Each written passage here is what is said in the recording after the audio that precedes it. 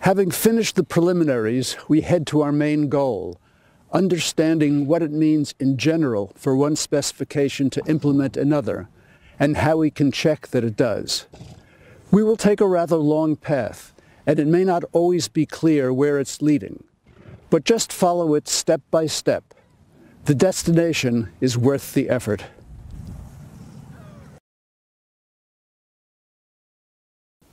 The AB2 protocol doesn't just implement the high-level spec of module AB spec. It actually implements the AB protocol, where an AB protocol step that loses a message is implemented by the AB2 protocol step that corrupts the message. Most programmers will find this confusing. They don't think of losing a message as a step of the AB protocol, but rather as a step taken by the environment in which the protocol is executed. Our specifications say nothing about who performs what steps. We think that in the AB protocol spec, sender A performs A send and A receive steps, receiver B performs B send and B receive steps, and the communication infrastructure performs lose message steps. But that's just an interpretation that we put on the spec suggested by the way we write the next state action as the disjunction of subactions. It would be easy to make the spec suggest a different interpretation. For example, by decomposing the next state action to suggest that A and B both send messages and cause the messages to be lost. The AB2 protocol implements the AB protocol, where corrupt message steps implement lose message steps. Our goal now is to convince ourselves that this is true. Reaching it requires answering two questions. The first is, what does it mean? And the second is, how do we check it? First, exactly what does this mean? It means that for every behavior of the AB2 protocol, we can obtain a behavior of the AB protocol by changing the state as shown in the following example. For this state in a behavior of AB2, here's how we get the corresponding state in a behavior of AB. The values of AVAR and BVAR are the same. We obtain the sequence of messages A to B from the sequence of messages A to B2 by deleting the bad messages. And we do the same thing to obtain the sequence of messages B to A from the sequence of messages B to A2. AB2 implements AB means that this transformation of states of the AB2 protocol to states of the AB protocol transforms a behavior of the AB2 protocol to a behavior of the AB protocol. To show this implementation, we first transform states of the AB2 protocol to produce behaviors satisfying a new specification, spec H.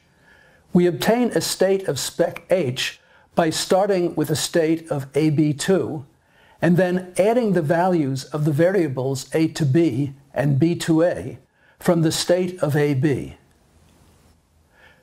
The AB2 protocol implements the AB protocol if and only if every behavior allowed by formula spec H is a behavior of the AB protocol.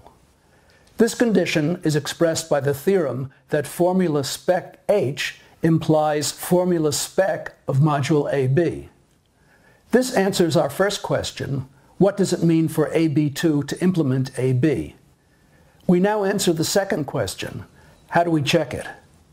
To do this, we first actually write the formula spec H in TLA+.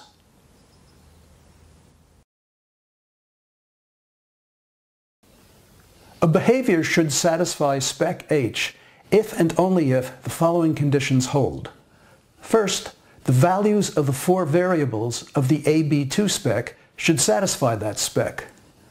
Second, in every state of the behavior, a to B should equal the sequence obtained from A to B2 by removing corrupted messages.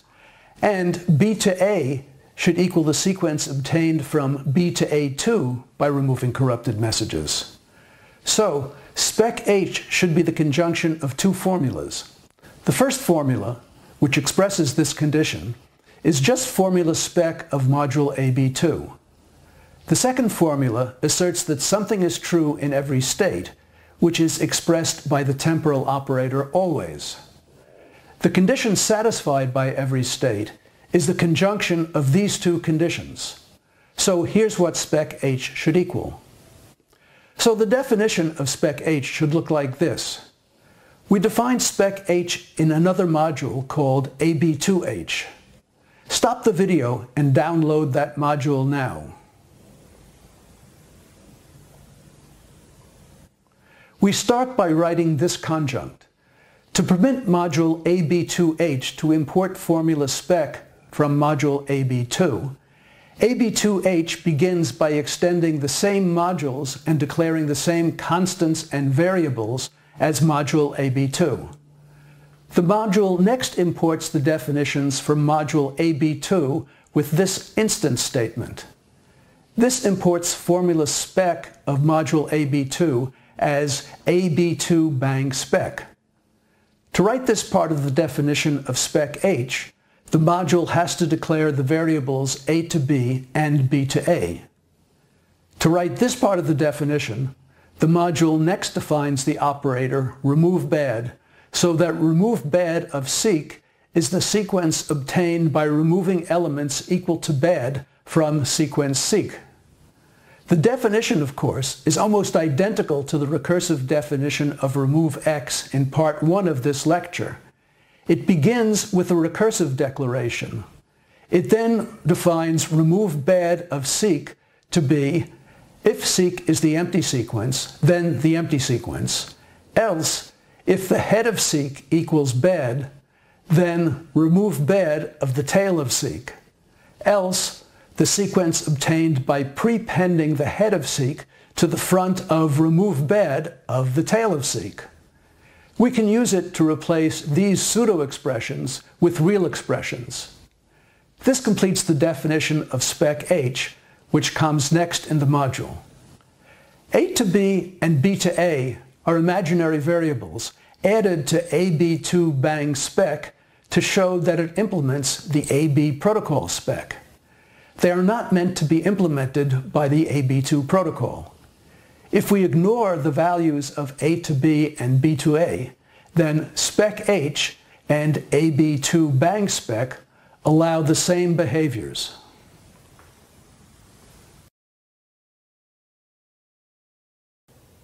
Remember that our goal is to check this theorem, which asserts that the AB2 protocol implements the AB protocol. But first we have to write it in TLA+. We just defined spec H in module AB2H. We now have to write formula spec of module AB in module AB2H. But that's easy. We just add this instance statement to module AB2H, which defines AB bang spec to be this formula. TLC can't check this theorem because spec H doesn't have the standard form for a TLA plus safety spec, which has an initial state formula and a next state action. We could solve this problem by rewriting spec H. This is done in module AB2H by defining a specification spec HH that TLC can handle and is equivalent to spec H. You can read module AB2H to see how it's done. Here, I'll take a longer approach that leads to greater insight into implementation.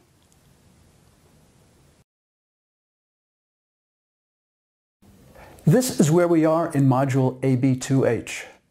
By the temporal substitution rule, this always formula implies that AB bang spec equals AB bang spec with this substitution. And since spec H implies the always formula, it also implies this equality. Therefore, this theorem is equivalent to the theorem we get by replacing AB bang spec by AB bang spec with the substitutions. Since this formula is obtained by substituting for A to B and B to A, it does not contain those two variables. Hence, in the theorem, this always conjunct of spec H is irrelevant. So we can replace spec H in the theorem by just this conjunct to get this equivalent theorem. So we can replace the theorem we want to prove by this one, and we can just check this theorem. First, notice that spec H doesn't appear in the theorem anymore, so we don't need to define it. The instance statement and the theorem are in module AB2H. Let's move them to module AB2. When we do that, the formula called AB2 bang spec in module AB2H is simply called spec. Inside module AB2, spec is an ordinary specification that TLC can handle. But this with formula is just a notation that I'm using here. It's not legal TLA+. To see how to write it in TLA+, plus, we need to examine the instance statement. After expanding all definitions, formula spec of module AB contains only TLA plus operators and the declared symbols of the module, which are the constant data and the module's four variables. To import a definition from module AB into an arbitrary module M, we must substitute expressions of module M for those symbols. This is done by a with clause, having this syntax, where these are the declared constants and variables of the instantiated module AB, and these are the expressions of the current module M to be substituted for them. When we instantiated module AB in module AB2H, for each of these declared symbols of module AB, we substituted the symbols of the same name from module AB2H.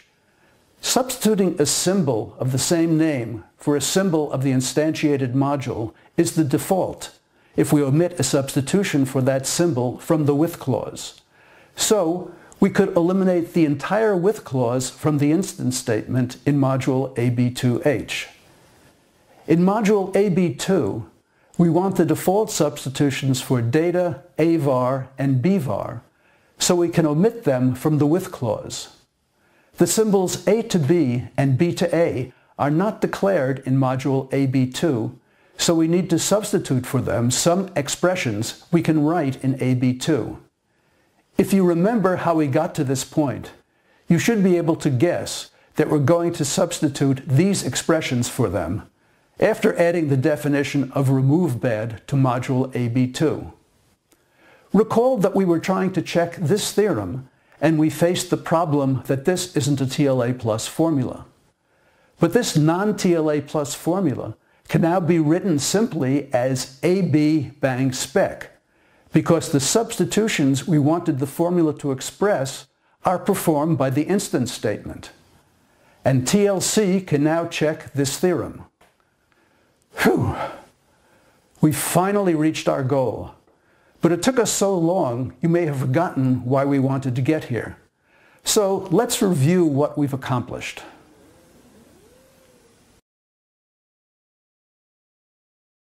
We saw that the AB2 protocol implements the AB protocol, where remove bad of A to B2 implements variable A to B of AB, and remove bad of B to A2 implements variable b to a of ab.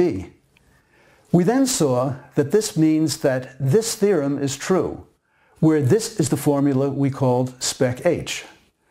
And we then saw that in module AB2, we can write an equivalent assertion as this instance statement and theorem. These substitutions are called a refinement mapping. And we say that the AB2 protocol implements the AB protocol under this refinement mapping. So that means that this theorem is true.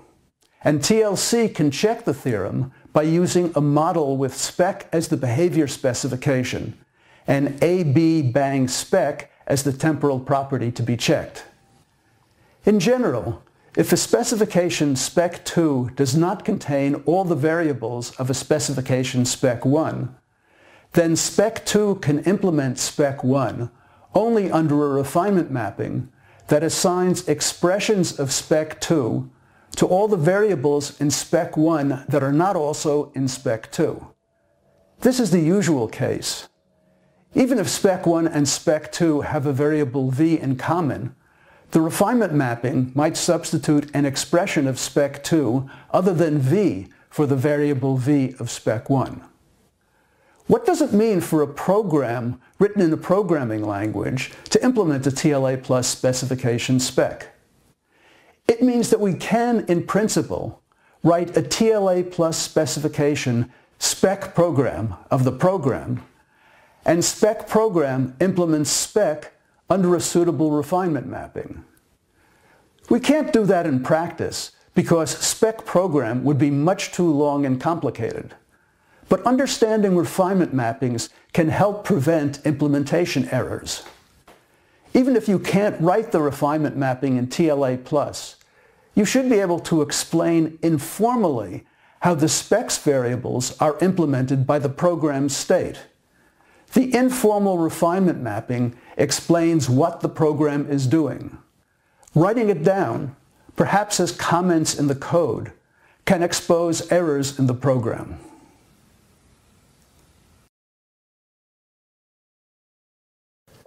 We added the imaginary variables a to b good and b to a good to the AB2 protocol specification to obtain specification spec p. We did that in order to write a desired liveness property. We added imaginary variables a to b and b to a to the AB2 protocol specification to obtain specification spec h. We did that in order to show that the AB2 protocol's safety spec implements the AB protocol's safety spec. In general, a specification spec 2 is obtained by adding imaginary variables to a specification spec 1, means that spec 2 and spec 1 allow the same behaviors if we ignore the values of the imaginary variables. We added imaginary variables to show that the AB2 spec implements the AB spec. This wasn't necessary because we were able to use a refinement mapping instead. But sometimes we have to add imaginary variables in order to define a refinement mapping. The AB and AB2 protocols are essentially the same if we ignore liveness. So specification spec of module AB should implement specification spec of module AB2 under a refinement mapping. Showing this requires adding to module AB an instance statement giving the refinement mapping and checking this theorem. These expressions of the refinement mapping must be written in terms of the variables of module AB. This is impossible without adding imaginary variables to the specification spec of module AB that remember where messages that were lost from the message sequences A to B and B to A used to be. Imaginary variables need not describe any actual state of the system. In fact, if their values can be described in terms of the original variables that describe the actual state, then the imaginary variables are unnecessary. For example, we didn't need to add imaginary variables A to B and B to A to the AB2 protocol spec in order to show that it implements the AB protocol spec because we could specify the values of those variables of the AB spec with a refinement mapping. Imaginary variables are not meant to be implemented and imaginary variables may be needed to construct a refinement mapping. Imaginary variables are usually called auxiliary variables. You can learn more about them by stopping the video and downloading this paper.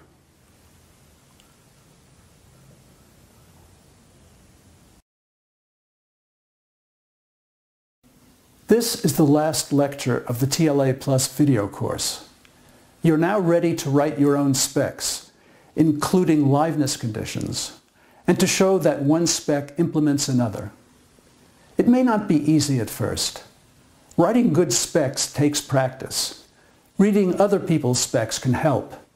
I hope the TLA Plus web pages will eventually contain many examples of realistic specs. There is still plenty for you to learn about TLA Plus and its tools. There are a few TLA Plus features that you haven't seen. You can find out about them by browsing the Specifying Systems book. There are many toolbox features that I haven't shown you. You can find them by browsing the toolbox's help pages. And there's the PlusCal algorithm language, a language for writing TLA Plus specs that look more familiar to programmers. See the TLA Plus website for documentation. This is the end of the course. You've come a long way, perhaps further than you realize. As you go forward, remember to take the time to stop and think. I hope what you've learned here will help you do that.